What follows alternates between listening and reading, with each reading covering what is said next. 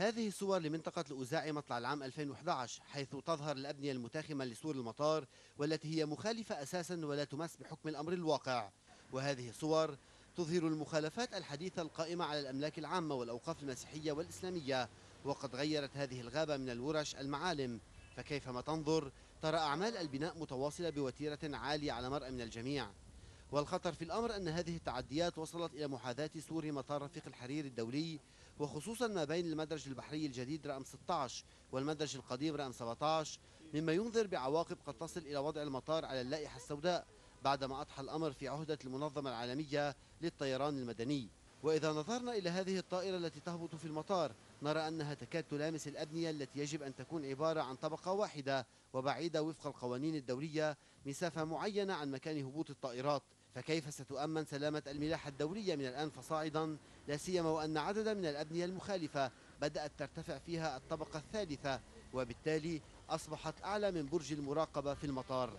كاميرا الأم تي في قامت بجولة على المنطقة حيث المخالفات لا تعد ولا تحصى وهذا ما استطاعت الكاميرا التقاطه وما لم نستطع تصويره أكبر بكثير. بعدما تعرض لنا لدى وصولنا إلى الأوزاعي عدد من الشبان وأجبرونا على المغادرة تحت طائرة المسؤولية. فما كان منا إلى الإسراع بالابتعاد عن التجمع وسط سيل من التهديدات. في هذا الوقت كانت دورية من قوى الأمن الداخلي تحاول إزالة مخالفة على سطح أحد المباني وقد صعد عدد من أفرادها وقام بإزاحة بعض الحجارة وغادر على الفور لتبقى المخالفة على ما هي عليه. ثم أعاد المخالفون بناء الحجارة التي عززت بأخرى من قبل عمال لا يهدؤون حتى إنجاز الأعمال بسرعة قياسية. وفي مكان آخر أمطر الأهالي عناصر قوى الأمن بالحجارة لدى محاولتهم إزالة مخالفة ما أدى إلى انسحاب العناصر الأمنية على الفور. وهكذا وفي موازاة التراخي في المعالجة والغطاء السياسي الحاصل العمال يعملون على مرأى من القوى الأمنية على طول الخط البحري وصولا إلى تخوم المطار. ولا يبدو أن وتيرة البناء غير المشروع ستتوقف وكأن المخالفين متأكدون أن أحدا لن يتمكن من إزالة التعديات حتى إننا شاهدنا بعض أعمال البناء المتلاصقة والتي لا تبعد الواحدة عن الأخرى المتر الواحد. وسط هذا المشهد الزاحف وصلت أجرة العامل السوري إلى 50 دولار نهارا و100 دولار ليلا فيما العائلة تراقب سير العمل بارتياح.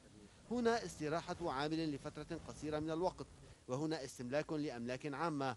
وهناك حركة جبالات لا تنتهي في حين شوهدت معدات بناء ورافعات وجرافات على طول 200 متر على طريق الأوزاعي الداخلي. خلفي تقع منطقة الأوزاعي حيث المخالفات وصلت لدرجة لا يمكن وصفه كما ترون في الصورة. وبالتالي الشرفات المنازل المستحدثة أصبحت تلامس الشريط الشائك للمطار. من أمام إحدى الورش المخالفة في الأوزاعي نخل عضيمة ام تي في